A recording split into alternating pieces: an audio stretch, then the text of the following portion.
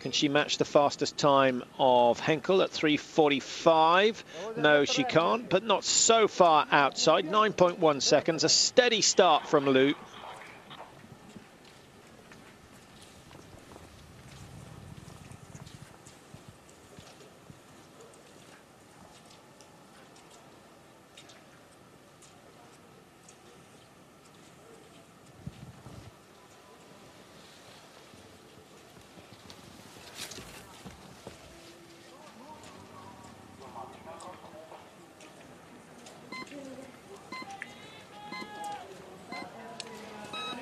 Vita Semerenko, the first of two twins starting today.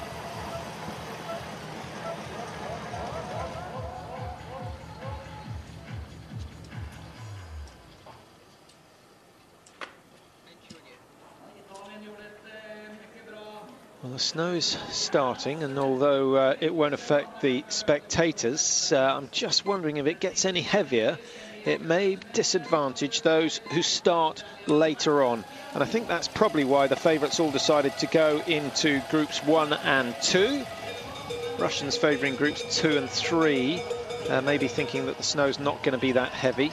And they wanted the colder evening weather to uh, just harden up the tracks a little. Henkel looking as relaxed as ever. Good long glide from Henkel just settling down, but she certainly hasn't uh, taken her foot off the accelerator too much as she comes in to shoot. Obviously uh, has got a breath back. It's a tough course here in Östersund, but you do get uh, roughly 200 metres of easy skiing into the shooting arena. Goes for the lane where she zeroed her weapon. That uh, is fairly common practice.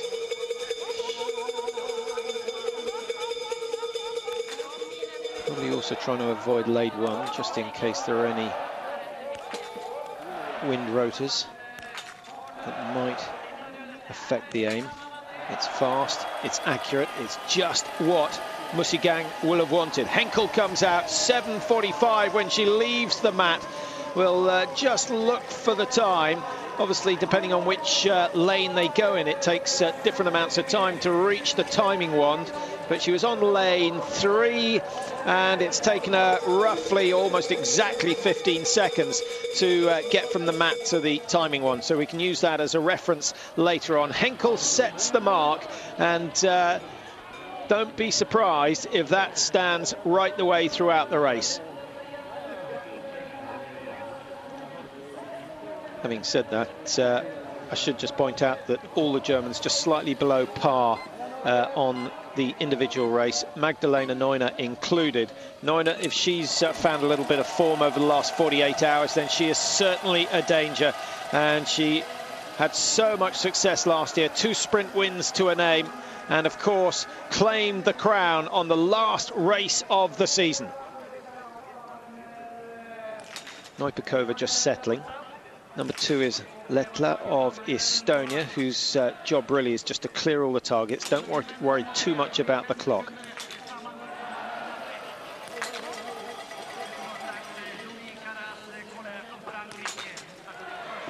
Look how little movement of Neupokoeva's head during the reloading process. Great drills, great accuracy, and Neupokoeva showing how it should be done. Not the fastest shoot ever, but it was good enough. And that is going to put her into second place for now. Henkel, 7.59. My goodness, she's flying. Lu of China. How is she getting on? Started 30 seconds behind Neupokoeva and is going to be uh, a little closer to that leading time, but still some way outside. Henkel has blasted round the first loop and is going to have a gap uh, of at least 20 seconds, uh, if not more. Andrea Marley preparing for her first shoot. She'll take her time. Uh, as I mentioned, she missed eight out of 20 in the individual, which, uh, well, that's club standard, really. A little bit of wind, it has to be said.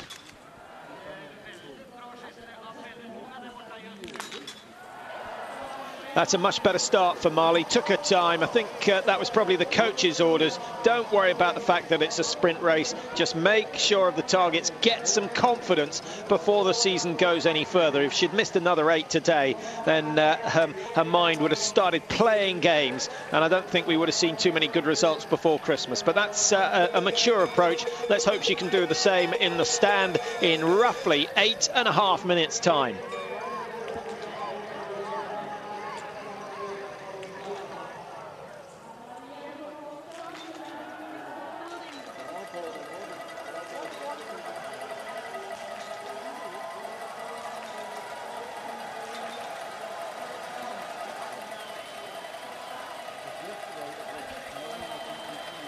Beck preparing for shoot number one. Now, this should be fairly standard procedure. Working left to right. One breath in between each.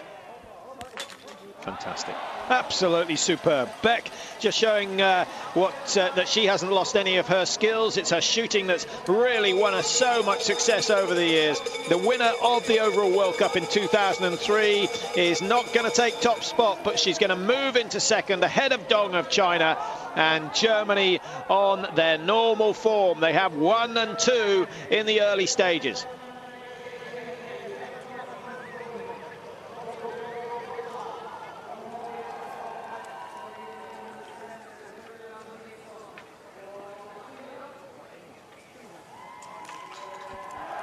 Bonnevie Svendsen. Slow approach. Sweden enjoying a few hits from uh, Anna Maria Nilsson, but I think uh, that, oh, that sounded like two very, very solid hits. I think the last two have gone wide for Bonnevie Svendsen. Can't quite check the target from here. From, uh, I should say, from uh, the Swede Nilsson. Bonnevie Svendsen just starting now and uh, already has one miss and a second. The last one goes down, but uh, that's a damaging shoot for Bonnevie Svendsen and uh, a little glance over her shoulder at the coach who is in the scoping range just to see if there's any explanation. He's not allowed to pass any information to the athlete. He has to radio it to the rest of the team out on the tracks who can then pass any necessary sighting adjustments to the athlete.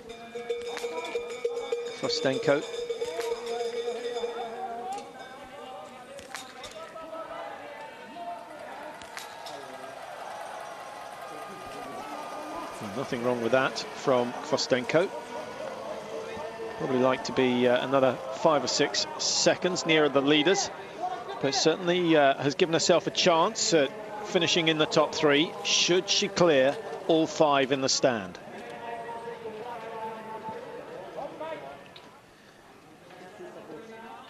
Vita Semerenko.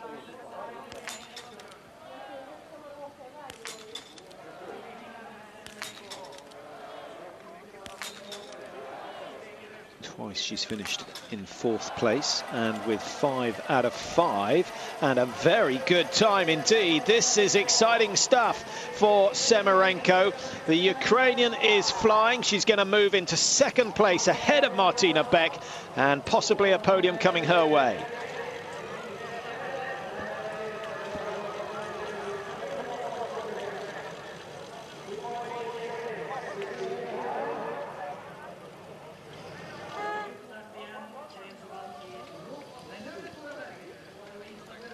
back on the start line and it is Tora Berger of Norway who had such a wonderful World Championships here. Three times agonizingly she finished in fourth place until finally she got a medal a silver in the pursuit. And that was uh, for me the race of the championships that duel with Magdalena Neuner where Berger who was by far and away the slower skier had the audacity to overtake Neuner on the last loop and put doubt into the German's mind. It didn't quite turn out for her but she won a lot of hearts that day. And uh, there'll be big cheers if Berger can do well in this stadium again today.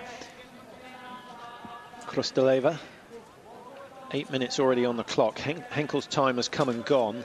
Beck's uh, is safe, Dong's is safe. This is going to take roughly another 15 seconds to leave the mat.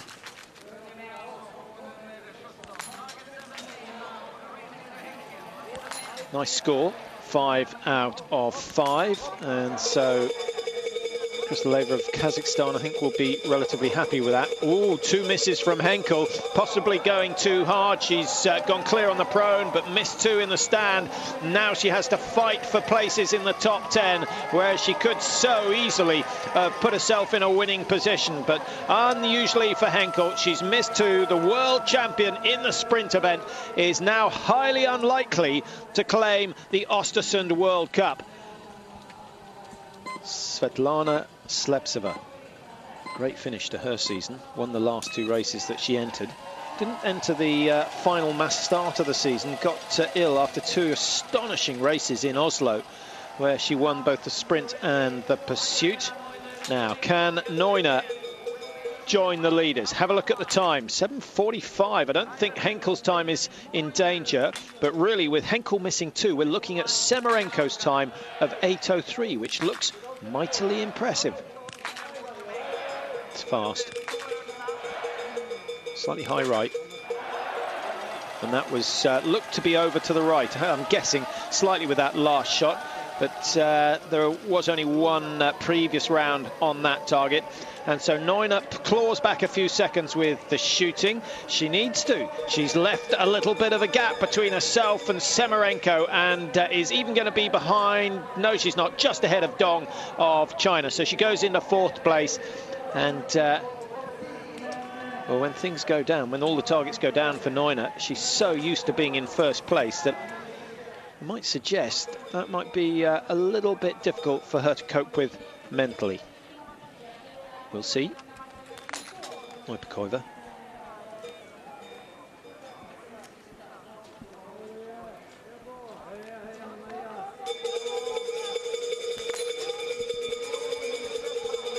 Taking her time, 16.44 the time she has to beat, so all the targets have to go down if she wants to contend with Henkel.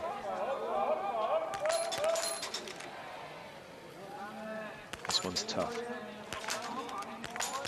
eight, nine seconds holding her breath. Did well to get the target down, but uh, thrown away valuable seconds and is now chasing the German. I don't think we're going to see Ojpakova threaten. Remember, Henkel's done an extra 300 metres, so is skiing considerably faster.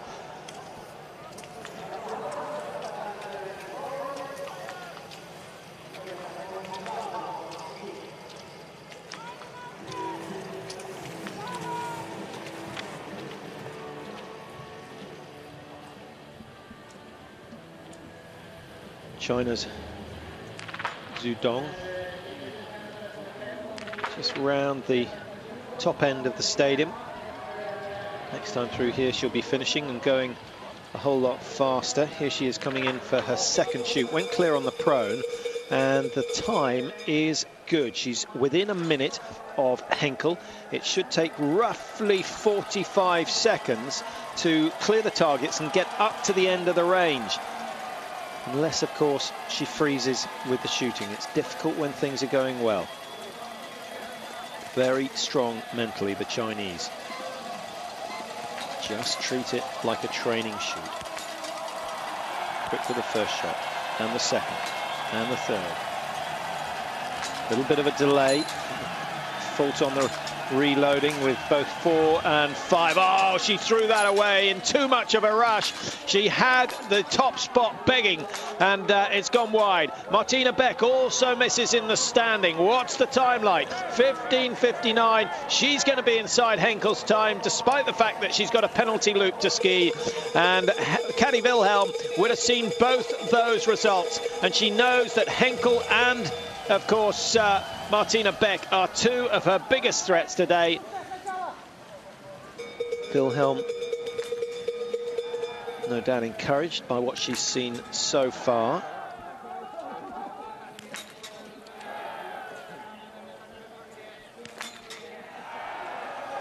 Some way off the pace for Istanbul, but uh, the target's gone down. I think she was in lane one and therefore has the shortest